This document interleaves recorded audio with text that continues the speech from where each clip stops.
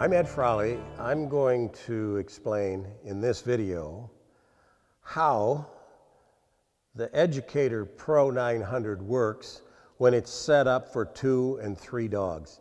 It's a little different, it's complicated. I say it at the beginning of all of my videos, and that is we don't recommend this collar for new dog trainers. The only people that should be using this collar are professional dog trainers. Even if you want to become a professional dog trainer, this is not the collar to start with. There are simpler collars out there. Call us, email us, we'll tell you what we would recommend. Use these other collars for a while before you step up because there's features on here that I would never use. And for sure, a new dog trainer never needs. But let's start talking about the two dog collar. When this is set up for two dogs, you'll know that it's set up for two dogs because you're going to have a one and a two flashing just above your stimulation level. If it's set up for a three dog, you're going to have a one, two, and three flashing right above your stimulation, stimulation level. Simple to get to. I explained it in a previous video. You just hold down the on and off and you press the on and off and the S1 button at the same time. And it, it had been set up for three. I did that. It got one beep. Now it's set up for just one collar. I'll set it up for two. Hold down the on and off.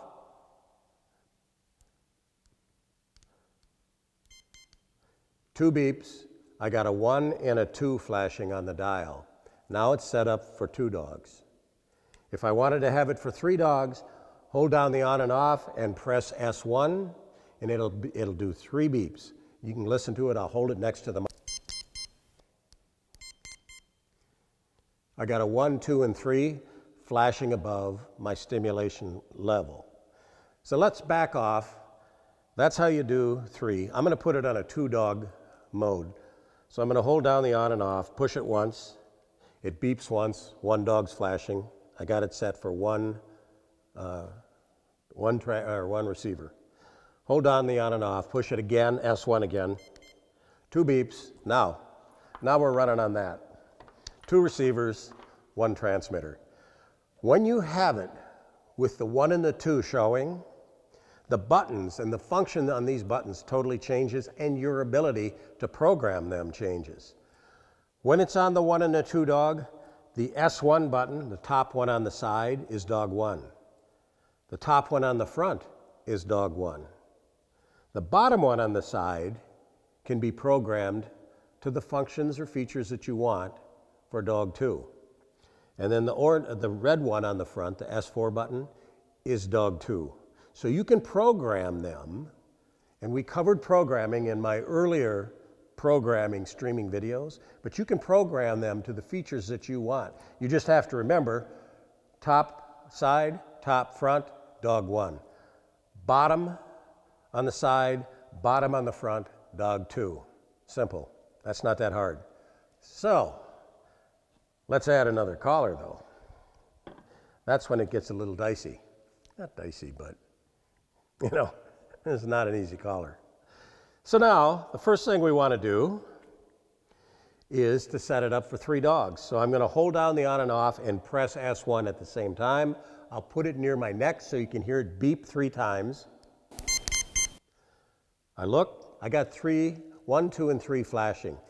The transmitter is now set to work with three dogs, okay?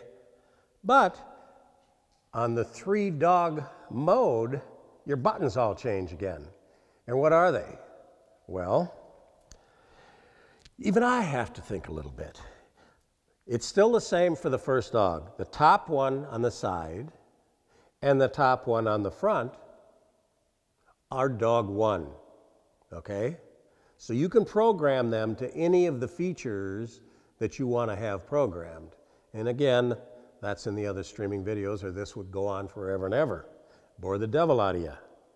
But when I look at the three dog mode, the front button, the S4 button, is now the only button that can be used to program for dog two.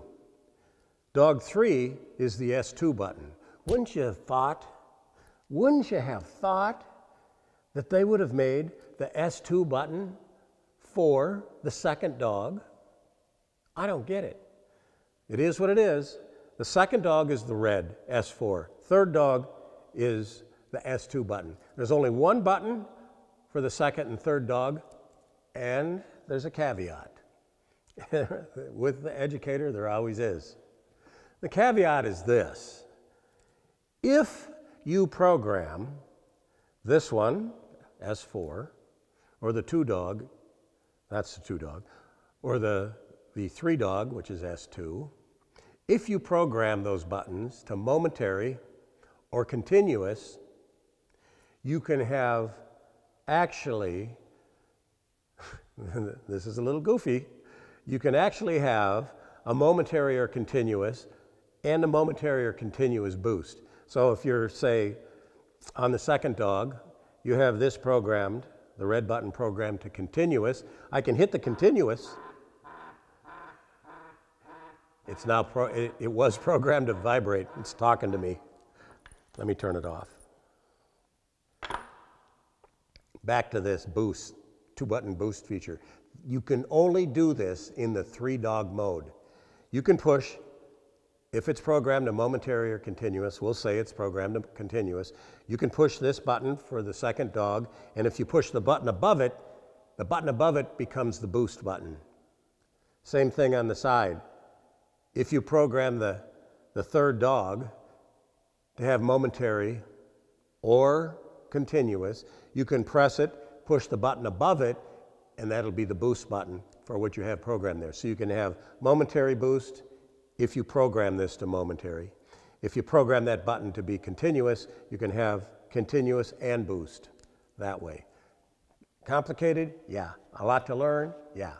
Can you get that out of the manual? Not in your lifetime. This is the crummiest manual ever put on any product anywhere. I'm sorry, it sucks. I didn't learn this by myself. I had to call the factory and I had to play with for a long time before I got it. So I would recommend that, again, if you're going to be a professional dog trainer that wants to learn how to use this thing, figure out how to program it.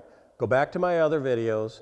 The other videos explain the features, they, they explain how to program the various features.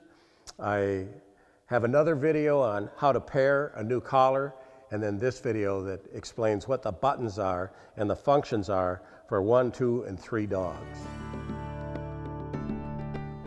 So in this segment, we're going to talk about the vibration and tone mode. When the unit comes from the factory, it's preset to have a factory default for the level of vibration or the level of tone that is on the collar. But there are different levels of vibration and tone. To change them, you can't program it by just using your transmitter. You have to connect it to the computer and change it that way. I will tell you that the computer program that Educator has put out was done a year and a half from now, and whenever you watch this, it'll be further, and it doesn't work with all operating systems. So it's either going to work or it's not going to work. To me, that's a problem with Educator. Uh, they can say it's a problem with, with uh, operating systems. I think if you're going to have a feature on your product that can't be changed unless it's connected to a computer, then you better make sure that your programming works. But anyway, let's assume that it does work so you understand how to do this. You plug it into your computer and you have different options for different levels of stimulation. One of the levels is to have either a vibration or a tone. You can't have them both on the same button. So either vibration or a tone associated with stimulation. You can set it so that if you program this on the computer to be vibration stimulation, you will get one and a quarter seconds of vibration, and then it will switch to 30 seconds of stimulation. And that stimulation level will be set according to what you dial it up to on your dial. So it can be what you want. Same thing with the tone. You can program this on your computer to be a tone stimulation button. And the same thing, you use it, it, it will give a tone for one and a half seconds, and then it switches to stimulation at whatever level is on the dial for 30 seconds. So it's your choice. If you plug it in, if it works on your, uh, on your computer, you're going to be able to change the different levels of vibration, and the one of them will be vibration and stimulation. You'll be able to change one of the buttons to tone, and that'll be different levels of tone, and one of them will be tone and stimulation. But you can't have tone and vibration on the same button, just so you know that. I think that covers it.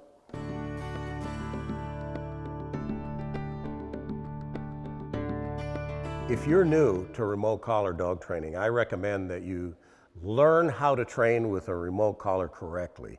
Leerburg has done a number of DVDs and streams and courses on remote collar training.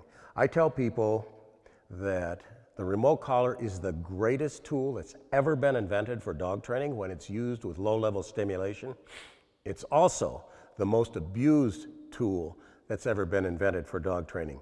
That's why you see all these animal rights people out there badmouthing the use of a remote collar when, if they had learned how to train with it correctly, and had done low level stimulation, they would very quickly learn that the vast majority of the times that a good dog trainer uses a remote collar is at low levels, levels that a human can't even feel. The use of a remote collar, when it's done correctly, is like tapping your dog on the shoulder and saying, hey, come on, pay attention to me. Just do what I want you to do. It doesn't have to be shock the dog. It's not hurt the dog.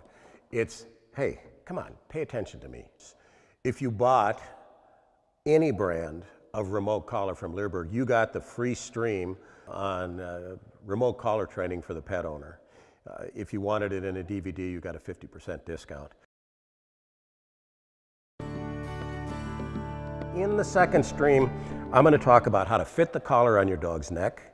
I'm going to talk about how to determine the levels, the working levels of stimulation for you on your dog. Every dog is different, so we're going to talk about that in the second stream. I'm going to talk about the ramp feature, how it works, why I'm not a big fan of it.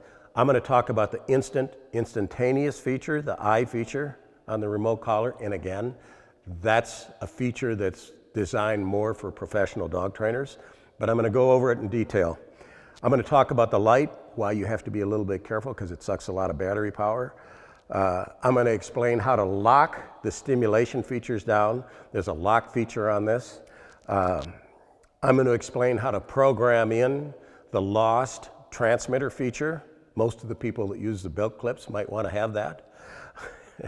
I didn't mean it that way. Sorry, Greg. Uh, I'm going to talk about how to program your transmitter by using the USB that comes with it and programming your transmitter with your computer. Now, your, your transmitter has a factory default of vibrate and tone.